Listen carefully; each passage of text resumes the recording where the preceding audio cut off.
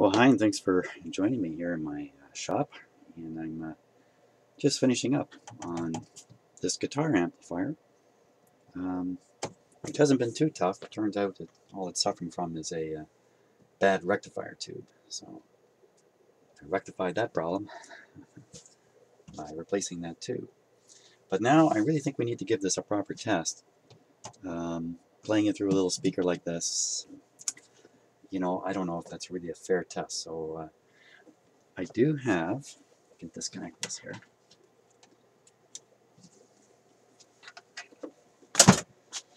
Just leave this out of the way a little bit.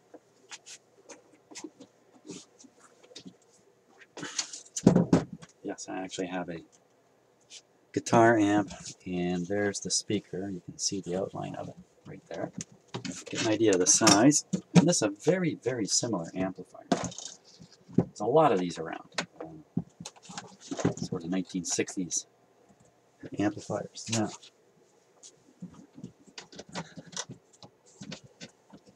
let's see if I can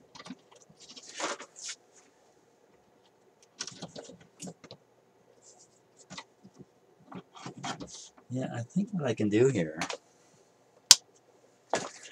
besides showing you the back of my head there, is uh, I can hook this speaker up to this amplifier. I'm going to want to remove one speaker wire and, and, not have it connected into the circuitry of, of this amplifier. And uh, that, I think that's what we're going to do here. Okay, so I uh, removed uh, one speaker wire here. So the speaker is now independent of the other amplifier. I'm going to connect these.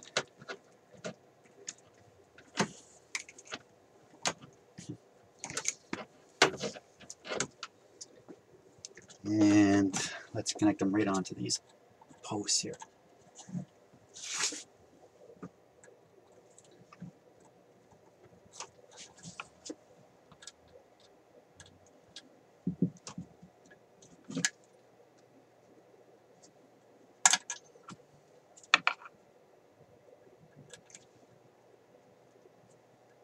Okay, that's good. Oop. Good too.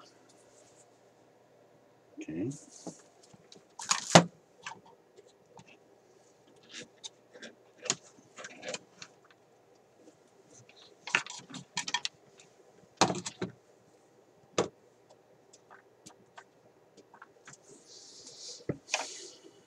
Very good.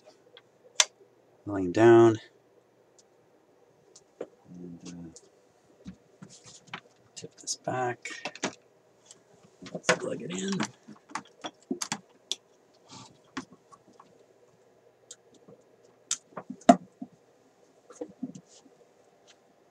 Okay, I'm going to want to do a voltage check right away on the chassis because I've had it unplugged now. Okay, it's on.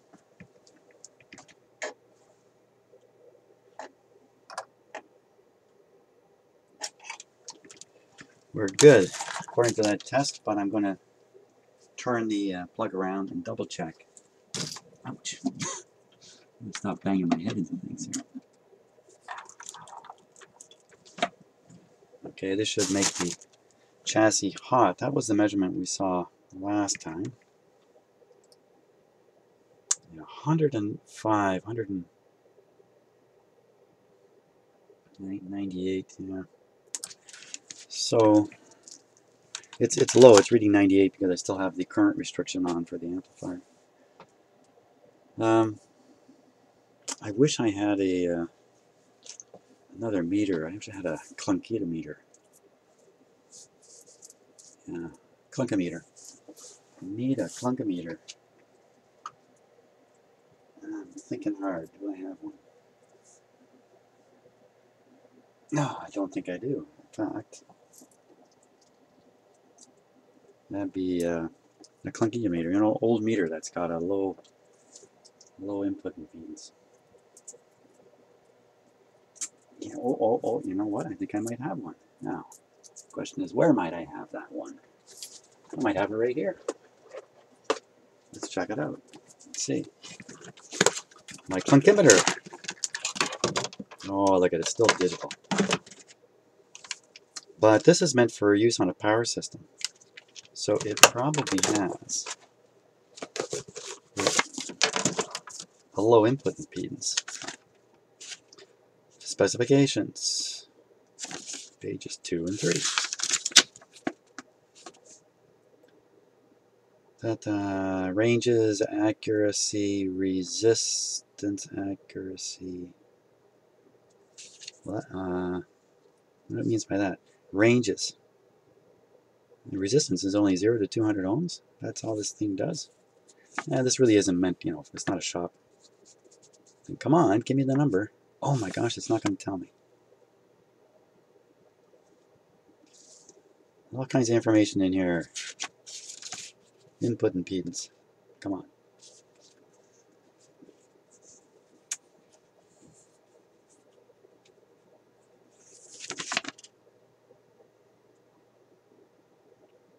But you know what? Let's just give it a try and see see if it. Uh, I suspect what will happen if the uh, input impedance is low enough.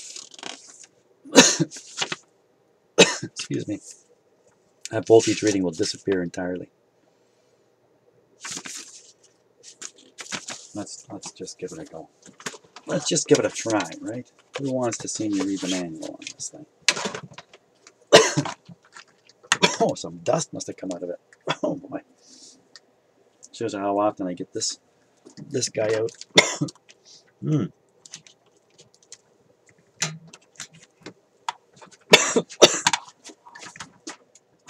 okay, I think I've recovered from a bit of a coughing uh, session there. So, uh, okay, let's just try and see if we can't read. The, oh, you know what? This is going to require a battery.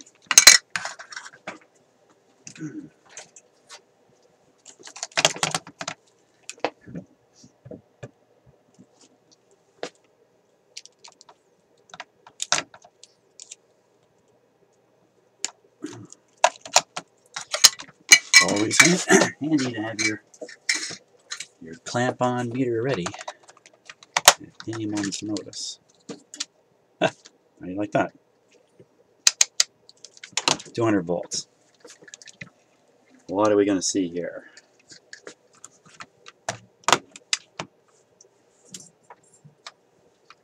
Okay, that's reading uh, 1 point, you know, around 1 volt. That's 0.9 volts there. So here we go.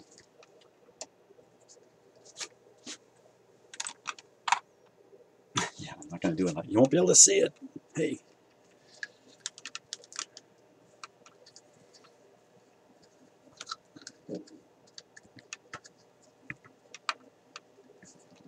Okay, here we go.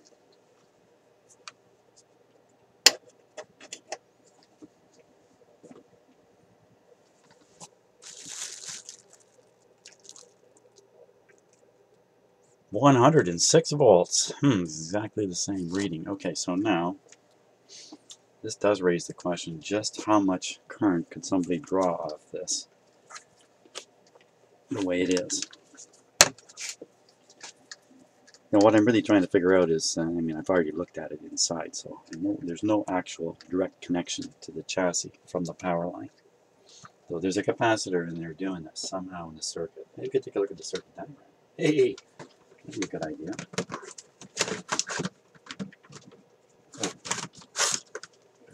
Take that battery out of there. Because uh, I don't think I'll be calling this guy into service for a long time to come. but always handy to have your clamp-on ammeter ready to go.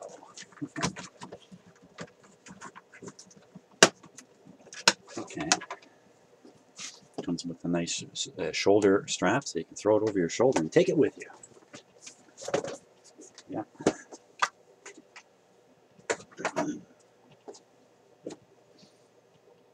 Well, we can do something really silly and try lighting a light bulb from there. And that would be a silly thing to try, wouldn't it? Or something else. Hey, what was that?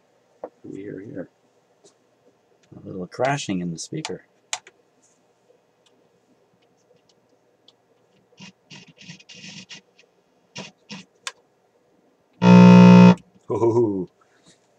Should that should that should work good with the proper input. But I really want to settle this question of will this kill me? That's a good question worth settling, um, without any doubt. Okay, so let's try the light bulb thing here. Okay, this is not so awkward. I just need to ground my clip lead here. Something smells very hot in this amplifier.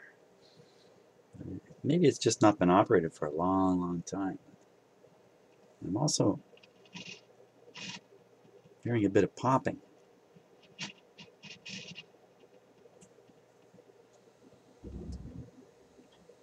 Didn't, didn't seem to react to the setting of the volume. I'm not sure what that is. Very faint popping, so. Okay, let's get this grounded and get on with it here.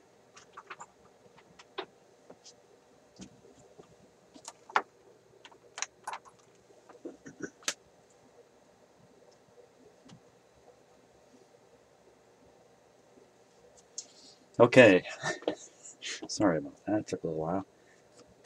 Will the light bulb light?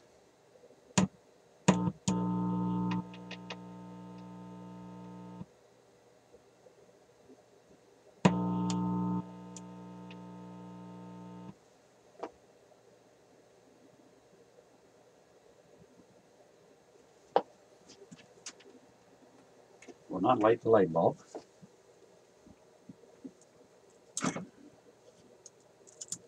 Will it give somebody a shock? I have not answered that question. Well, things got a little disappointing for me when I went to edit all the videos for that I've been shooting, and I got mixed up between camera on and camera off, and I failed to video a couple of steps, and instead I videoed my empty shop in between the steps. So what I'm going to do here quickly is try to replicate what I did already, especially around the uh, chassis being electrified, and uh, and I'll just tell you what I did. I'm not going to repeat all the other stuff I did, but this is the best I can do to salvage the video I made, basically. So, uh, last thing that was happening was I was using a voltmeter to test the voltage on the chassis, and I was attempting to light a light bulb to provide very solid evidence that there isn't much power behind the high voltage. Now let's see. I'll just check it again here. Okay, so right now it's plugged in so that the chassis reads zero to earth ground. Look, put my hand on it. So I'm going to flip it around again.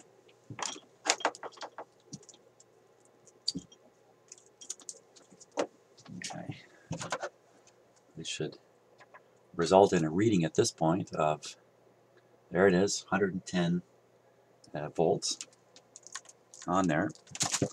So I had done the light bulb test and showed that you cannot draw enough current to even light a small light bulb. S still means you can get a shock off it. Maybe not much of a shock, but you can still get a shock from it. So this is just a neon bulb, neon tester had this since I was like, uh, I don't know, 10 years old or something. My parents bought me this for Christmas. gives you an idea what kind of 10 year old I was. So I still have it. Eh? So we can put this on. I'll throw it around. Let me just turn out some lights here. It's a little hard to see this with the lights on, of course. So put it on there. And can you see the light? Yes, you can. And I'm just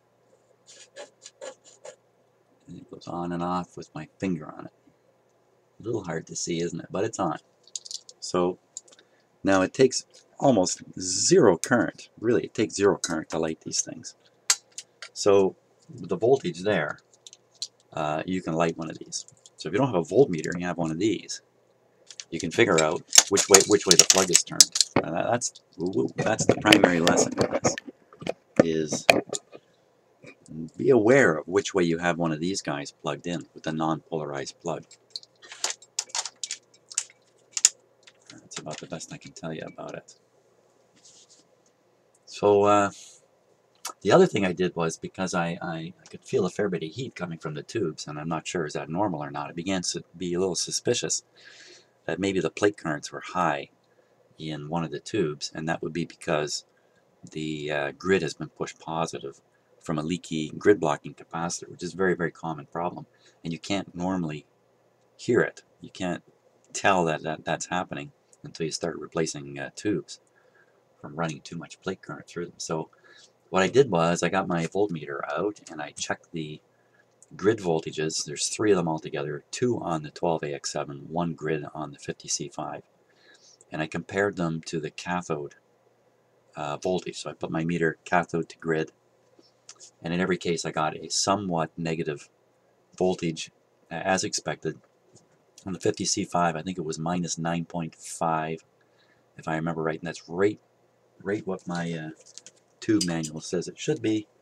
So consequently I'm not worried about excessive plate current in this amplifier. In fact I think the amplifier is in perfectly good shape and uh, sounds great, uh, no hum, it's fantastic. So uh, I think this thing really needs, I think it really needs a really good test.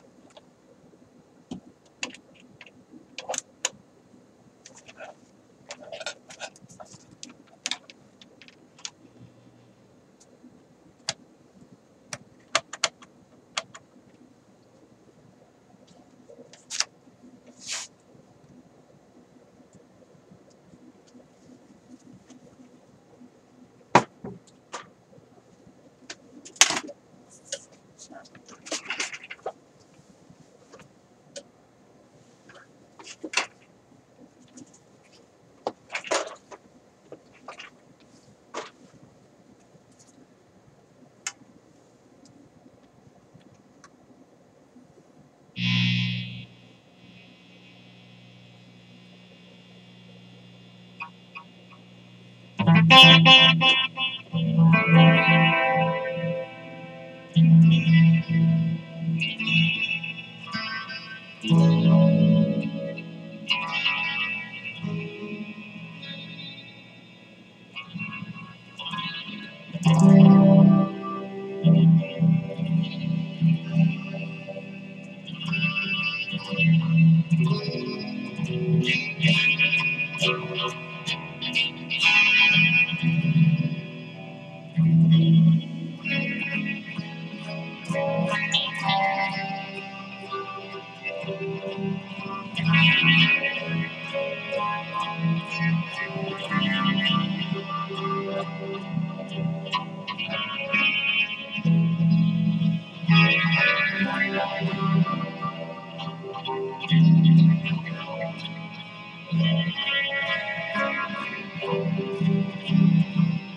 Thank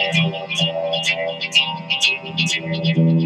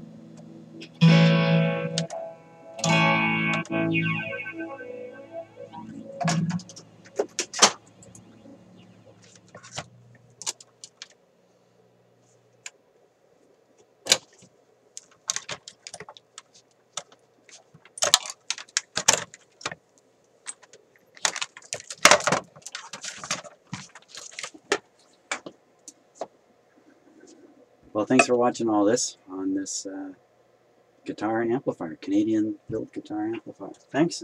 See you on the next video. I'm just about ready to start the next thing, and it's going to be something I've never really worked on before.